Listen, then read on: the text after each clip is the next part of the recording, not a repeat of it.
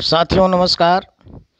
आज हम आपको एक ऐसे घाटी के बारे में बताने जा रहे हैं, जो भारत देश की सीमा से सटा हुआ नेपाल देश है।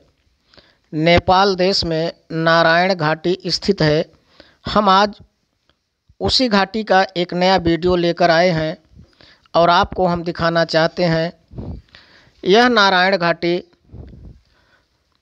जब लोग भारत से नेपाल की सीमा में प्रवेश करते हैं तो रास्ते में यह नारायण घाटी काठमांडू के रास्ते पर पड़ती है, जब लोग काठमांडू पशुपतिनाथ का दर्शन करने के लिए जाते हैं तो यह नारायण घाटी रास्ते में मिलती है।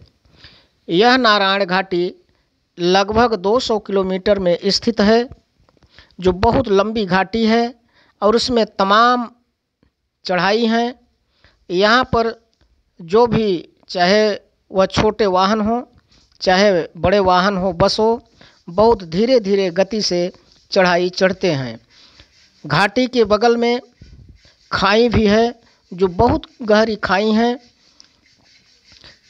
यह रास्ता बहुत ही सकरा रास्ता है और कुछ जगह पर तो गाँव बसे हुए हैं, लेकिन जहाँ पर घाटी के बगल में बहुत गहराई है, खाई बहुत गहरी है, वहाँ पर कहीं भी कोई बस्तियाँ नहीं हैं और यह बहुत लंबी घाटी है, जिसे नारायण घाटी का नाम दिया गया है।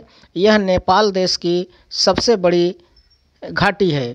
यहाँ पर देखा जा रहा है कि यहाँ इस घाटी के बगल घने जंगल भी दिखाई पड़ रहे हैं और यहाँ पर तमाम नए नए किस्म के बहुत विशाल वृक्ष हैं और कहीं कहीं पर देखा जा रहा है कि घाटी के बगल में भी गाँव बसे हुए हैं और देखा जा रहा है कि वीडियो में कि यहाँ की जो सड़कें हैं, सड़कों की हालत तो ठीक है, लेकिन यहाँ बगल में डरावना जैसा लगता है, जो बगल में घाटी है बड़ा डर लगता है यहाँ पर चलने में।